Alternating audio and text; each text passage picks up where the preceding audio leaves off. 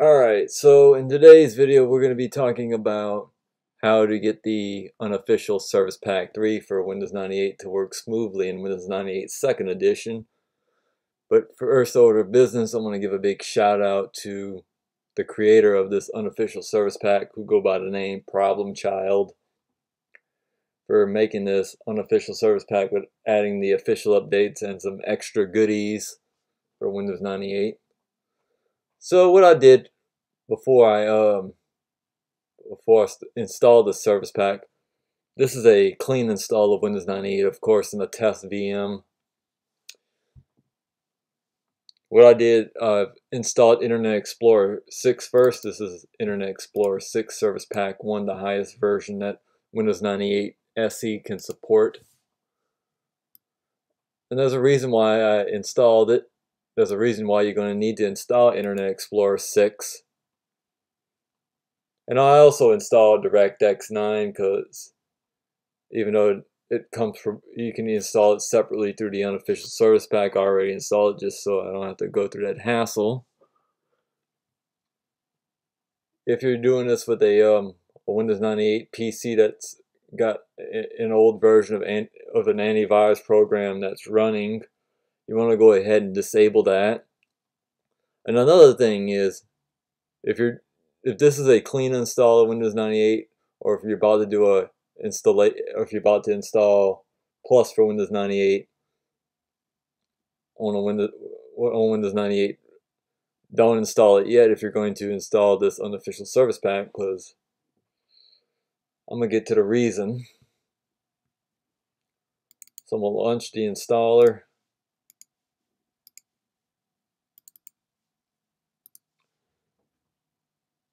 Even though this is encouraging you to use it at your own risk.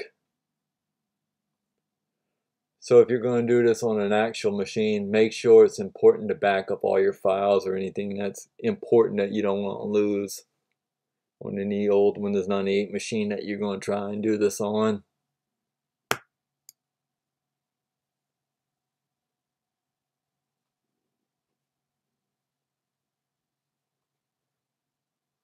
And you just give it a little moment or two to load. It's going to extract everything real quick.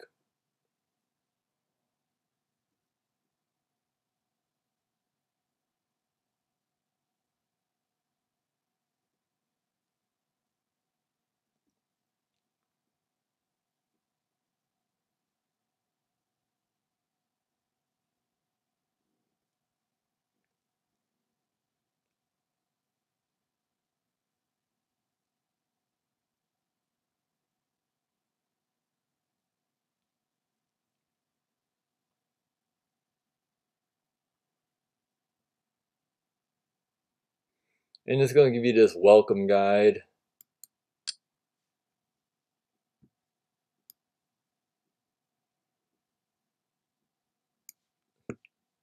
Showing you what cosmetics does it offers.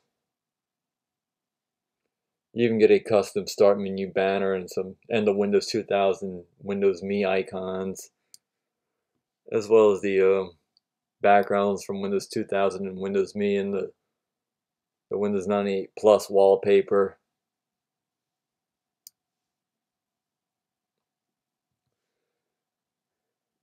And we're going to close out of that for now and get on right into the install. Let's say we're going to install this. But if you're going to install Plus for 98, Plus 98 after, do not install the animated boot up and shut down logos. And if you're using 98 Lite, I would if you already got if you're not using 98 Lite, I wouldn't install that. Even though they say even though the creator of the unofficial service pack want the main updates installed first.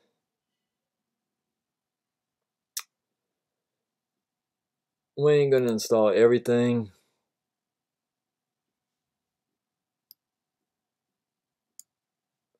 Already got DirectX 9 installed.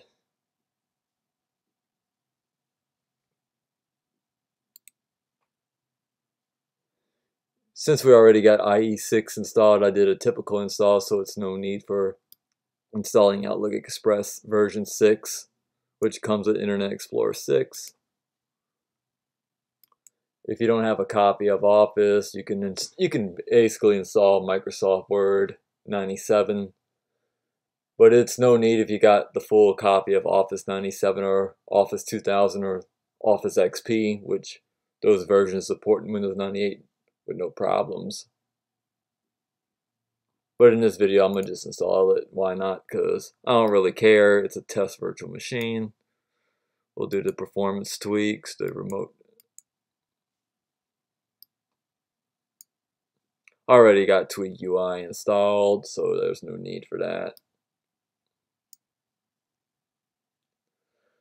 And there's another thing, if you're going to install, we'll do the universal plug and play.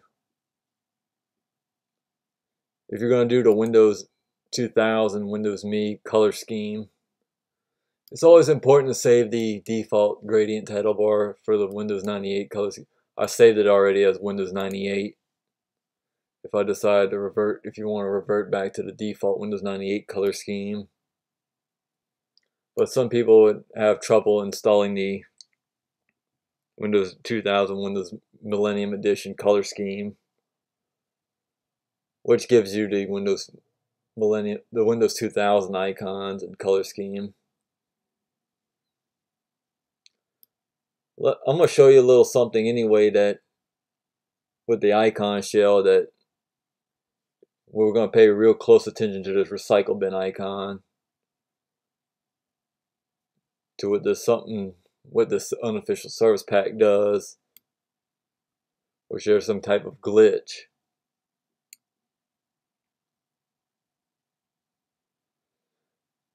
And once I reboot, I'm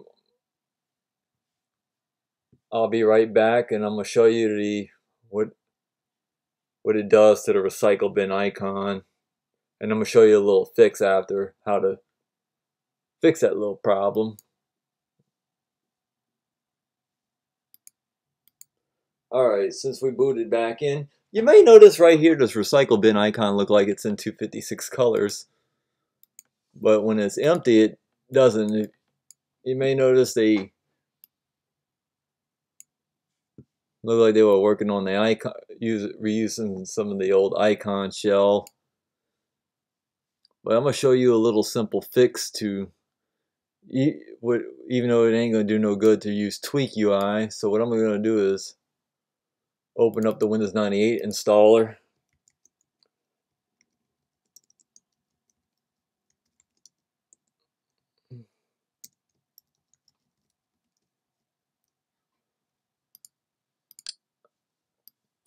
And what I'm going to do is run the Windows 98 installation.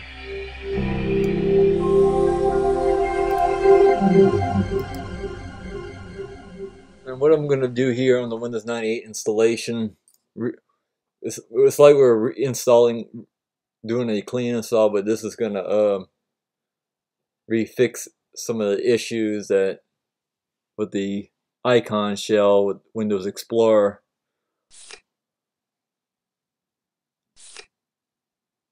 It's not going to erase the entire operating system. And we're just going to click no. So I'm going to just run the installation and the most important thing though is when you run this in, run this installer it's gonna uh make it Windows 98 kind of fix some of the issues in Windows 98 to make it work like OEM again. But at least you'll still have all your personal settings it's not gonna erase everything like I mentioned several times. So we'll go ahead click next and just leave select your country like and while this is going I'm gonna go ahead and be right I'll be right back after this installation is done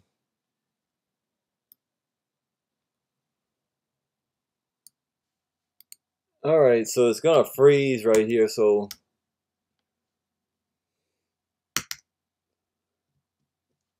when it freezes in the middle of the Windows 98 installation, what I'm to do is I'm to try and do a restart.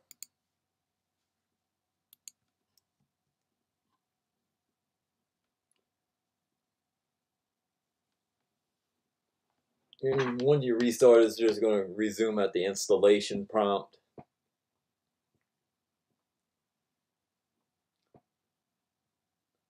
So there's no need to panic when you pop up with the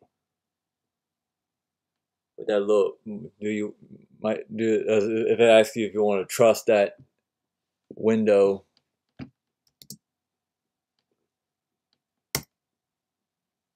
so we just ignore that.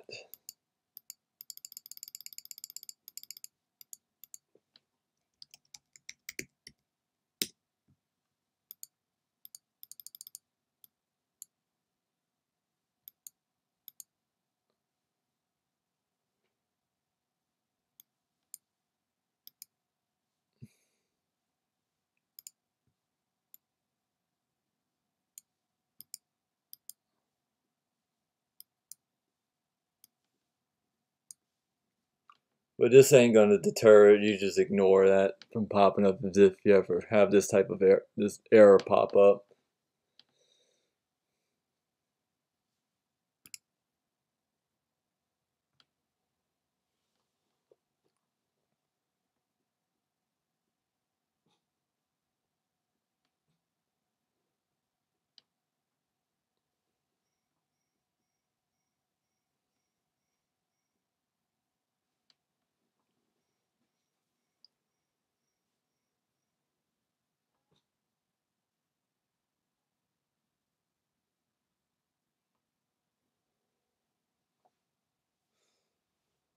So we're back at the login prompt.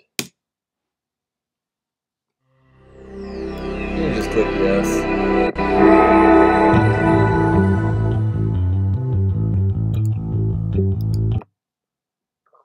So everything should work just fine.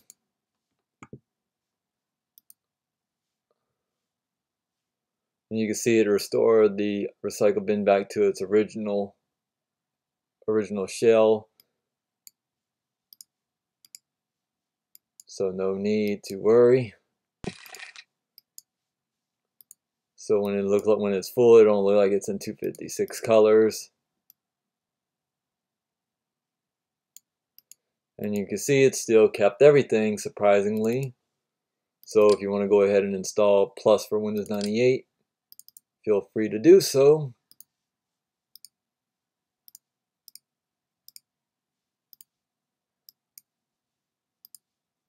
And we're just not going to install no antivirus, the McAfee antivirus because and this is just for demonstrations anyway. But even though I'm not a personal fan of unofficial service packs because sometimes some of them can break the OS and we can just ignore that.